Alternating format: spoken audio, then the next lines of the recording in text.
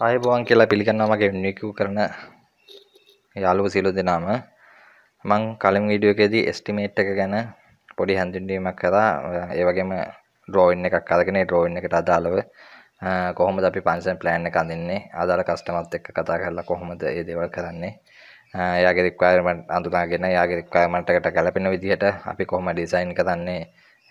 අපේ පිහිටයවම වයරින් එක කියන දේවල් ගැන කතා කරා. අද අපි බඩ්ලොස්තුව හදන එක ගැන කතා කරමු. ඉතින් මේ වීඩියෝ එකෙන් මම කතා කරන්නේ දෙවෙනි කොටස හැටියට බඩ්ලොස්තුව හදන විදිහ. ඊට පස්සේ අපි ඊළඟ වීඩියෝ එකෙන් කතා කරමු. ෆයිනලි අපි එස්ටිමේට් එකේදී කරන්න ඕන දේවල් මොනවද? අපි ලාභාංශ හදන්නේ කොහොමද?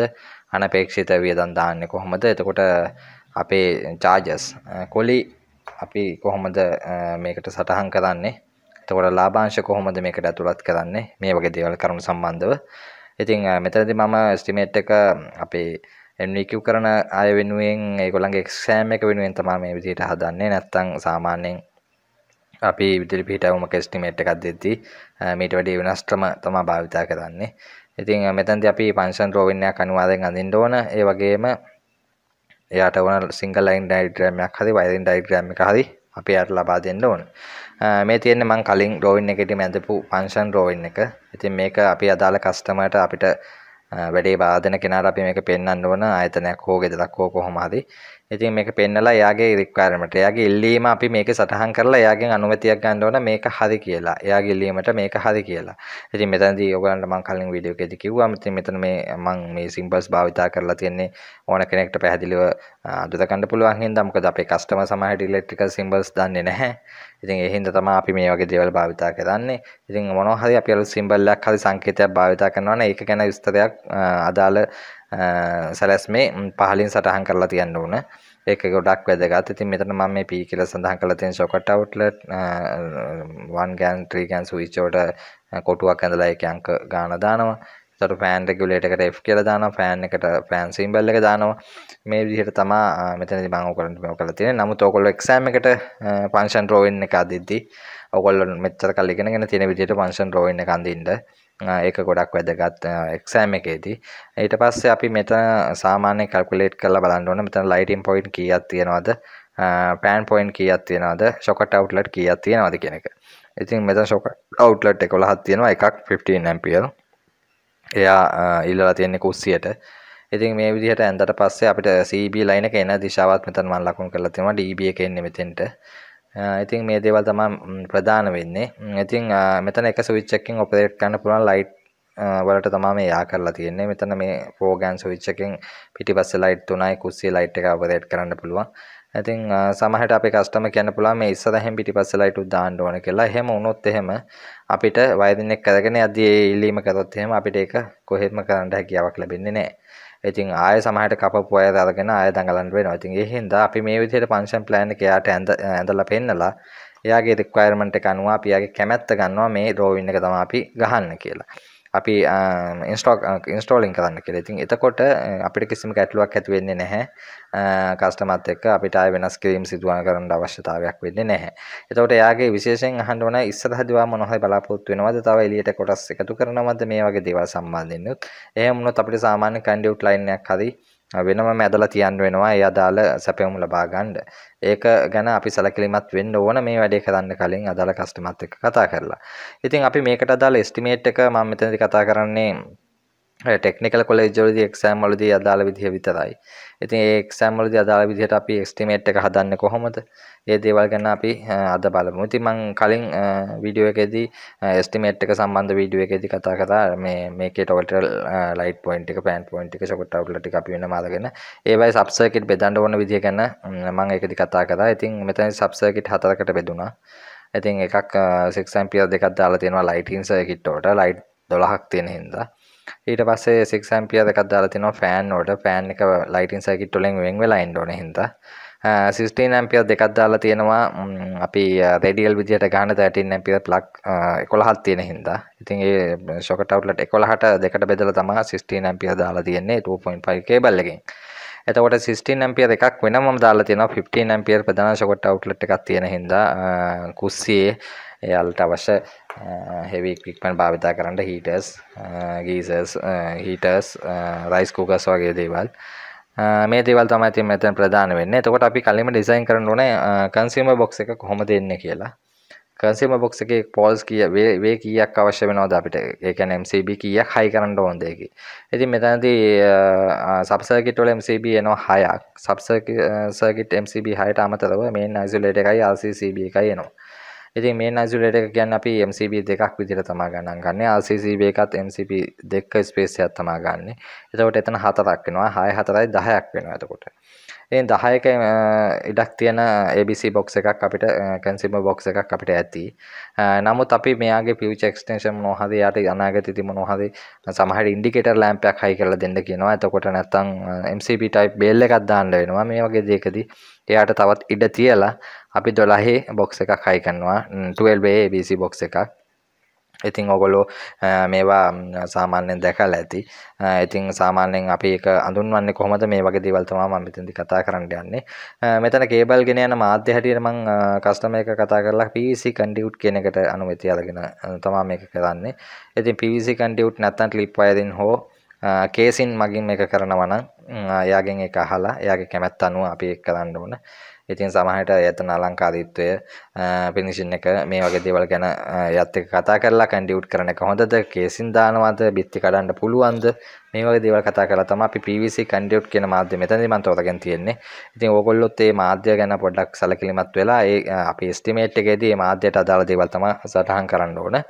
ඉතින් අපි බලමු එස්ටිමේට් එකට අදාළව කොහොමද එස්ටිමේට් එක හදන්නේ? එස්ටිමේට් එකේ තව දෙයක් තියෙනවා. එස්ටිමේට් එකේ අදාළ මෙන්න මේ රෝස්ට් එක එන්න ඕන. විශේෂයෙන් උඩ හෙඩින් එකක් දාන්න ඕන.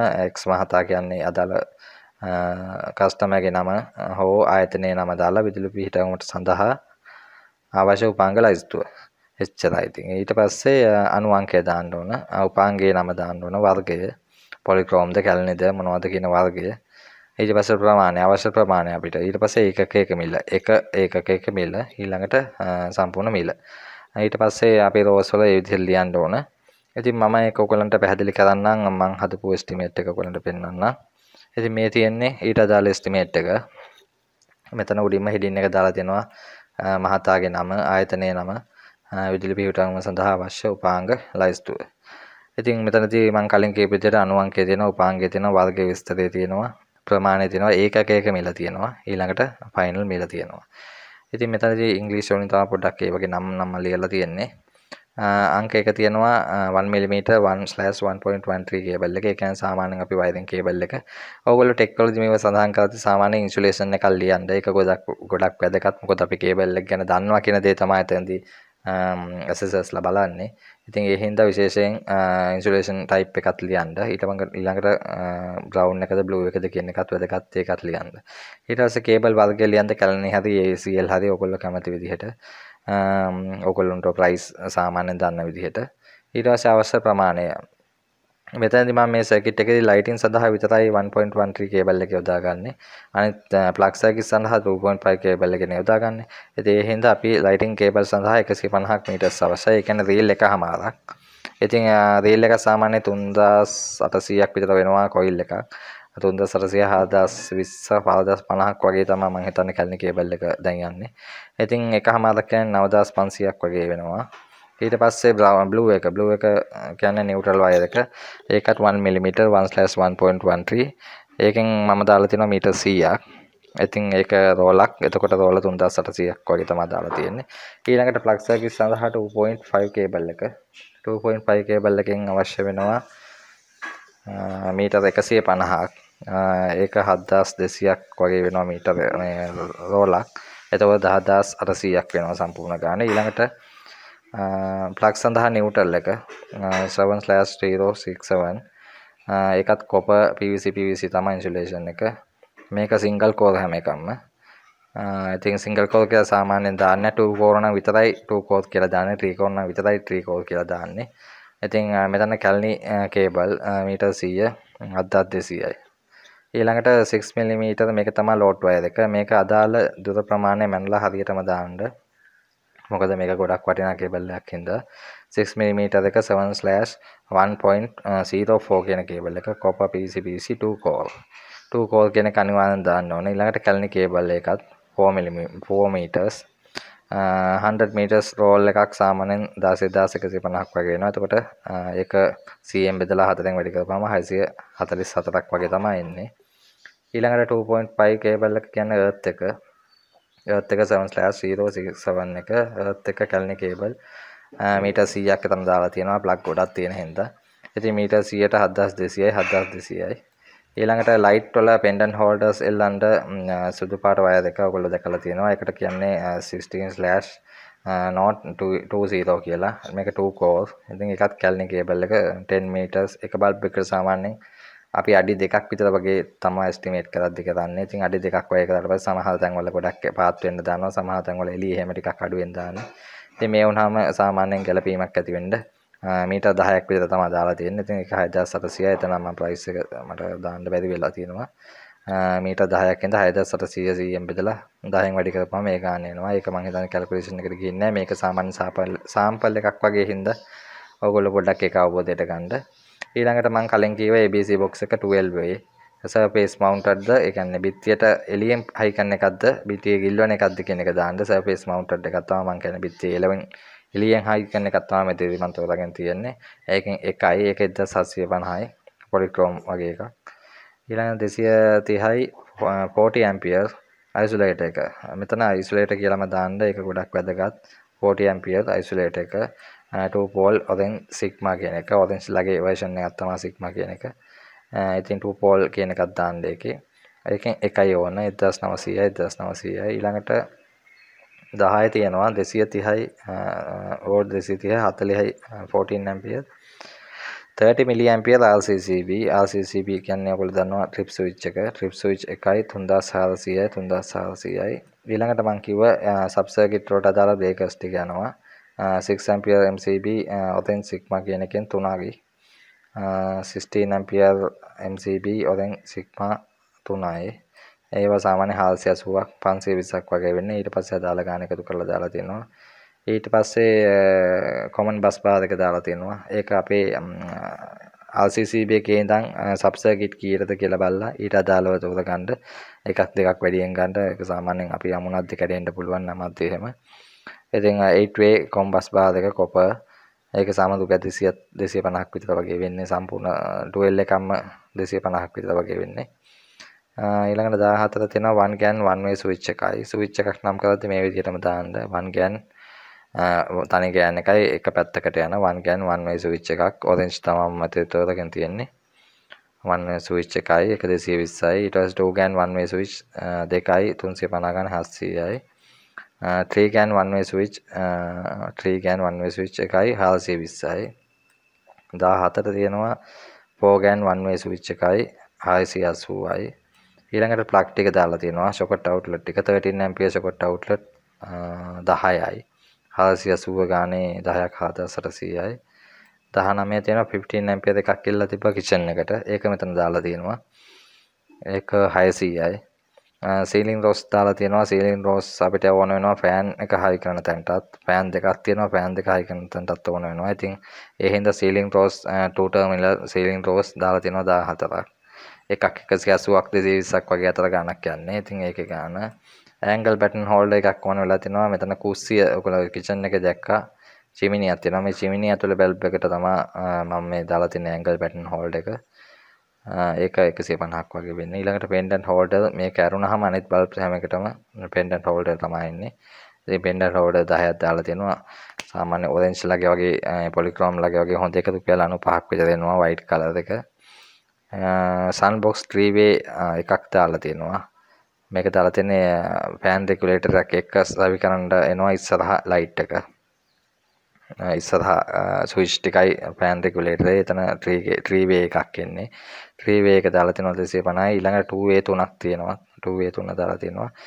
සම්බොක්ස් දාති සාමාන්‍යයෙන් මෙහෙම වේ ගණන් වලින්ම දාන්න. මොකද ස්විච් තුනක් එකට එනවා නම් සිංගල් සම්බොක්ස් තුනක් හයි කරන්නේ සාමාන්‍යයෙන් ඒ අදාළ ප්‍රමාණයට තමයි සම්බොක්ස් හයි කරන්නේ. මොකද නැත්තම් අපිට හදියට ලයින් කරගන්න බැරි වෙනවා ස්විච් තුන හෝ හතර. මොකද එහෙම වුණොත් සමහරට කපදාතු කරලා ඉවරුණාට පස්සේ පොඩි ඇදවල් ස්පේස් එකේ වෙනස්කම් පේනවා. ඉතින් ඒ හින්දා සාමාන්‍යයෙන් ස්විච් තුනක් හෝ හතරක් එකට හයි කරනවා නම් ඊට අදාළ සම්බොක්ස් එකම තෝරා ගැනීම ගොඩක් වැදගත්.